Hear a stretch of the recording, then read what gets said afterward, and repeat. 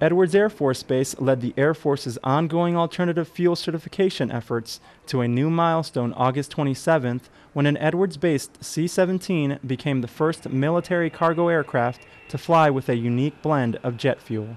That blend is a combination of JP 8, Fischer Tropsch fuel, and hydro treated renewable jet fuel. The 418th Flight Test Squadron conducted the week long test August 23rd to 27th. The Air Force is starting to look at alternate sources of fuel to, uh, to support their, their operations. So the, the first thing they did is they started looking at Fischer Tropsch fuels that use uh, natural gas or coal as the feedstock. And this is just a continuation of that ongoing effort where the fuel we're testing this time around is called, uh, it, it's called a biofuel, HRJ.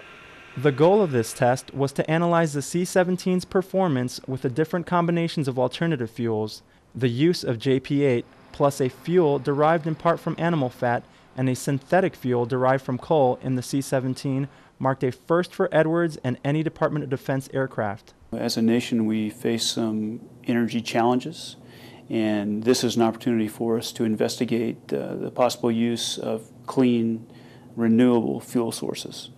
And if successful, can broaden the spectrum of fuels that we could use Air Force wide. Jet Fabara, Edwards Air Force Base, California.